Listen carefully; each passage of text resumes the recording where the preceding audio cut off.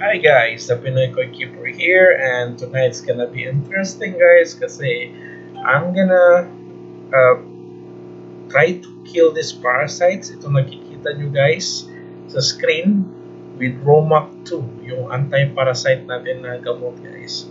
So basically, as you can see, ito po yung mga kostya guys. Meron pang isang fluke. may, may fluke pa na nakisabay uh, ito po yung kostya guys. Ito po yung mga parasite na nagtathrive sa malalamig na tubig. So basically, uh, ito po yung reason kung bakit tuwing taglamig yung mga isda natin namumula yung katawan. Minsan napupuno ng slime. Yan, ito po sila guys. So uh, in few numbers, hindi po sila uh, uh, they are harmless. But if uh, maraming population nila guys, if marami sila, they can really, really kill your fish.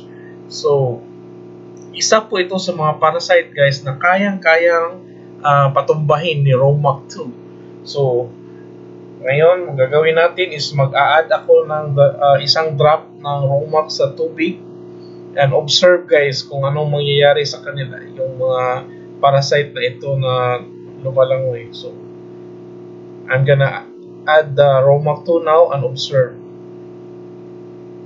Yan, medyo see as you can see uh, yan po yung Romac 2 and observe kung anong mangyayari sa mga parasite after na na contact sila sa gamot. Ayan.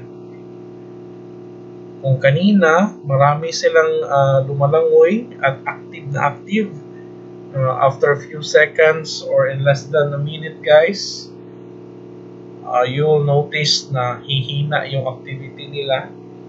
And then 2 to 3 minutes after they will start to die off. So ganyan po kabilis uh, pumatay ng parasite si Romac 2 Ayan. so as you can see kanina marami yan sila. And now look suddenly nag-post sila guys. Kanina, palangoy lang sa yung manonotice mo, paikot-ikot sila na lumalangoy. And now, yung iba is nag-post suddenly. Hindi na gumagalaw. Palutang-lutang na lang. Yan. Kasi uh, it's starting to die off. Yan. Until such time, manotice ninyo na yung mga parasite guys is hindi na uh, hindi na na gumagalaw yan po sila. There. See, ano notice nyo, meron na po nakalutang na hindi na hindi na lumalangoy. Yan, nakalutang na lang.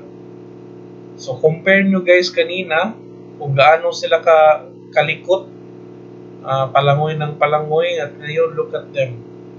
Konti na lang yung natira and then slowly, mamamatay po yan sila. Ayan, meron pang isang fluke na naka-curl dun sa top. Nakita niyo yun? There. Ganyan po ka-effective ang Romac 2 na pag ginamit nyo po siya sa quarantine tank niyo guys, talagang yung isda na may parasite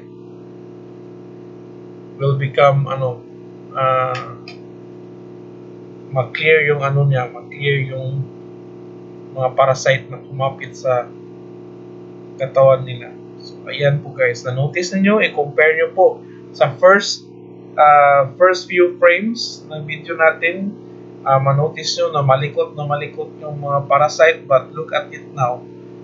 Uh, ayan, konti na lang yung kumikilos, palutang-lutang na lang. And then, as I mentioned earlier, few minutes after, wala na.